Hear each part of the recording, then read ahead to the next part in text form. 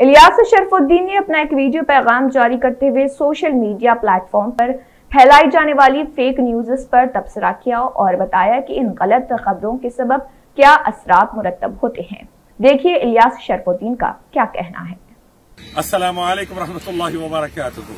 Fake news इतनी फैल रही है कि New York times CNN international NDTV तक डाल रहे हैं। जागी, संभलिए।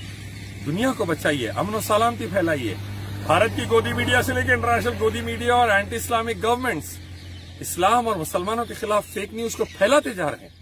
वक्त है समझ जाइए। हमारी भारत को और दुनिया को बचाइए। फेक न्यूज़ खत्म करिए, हक फैलाइए।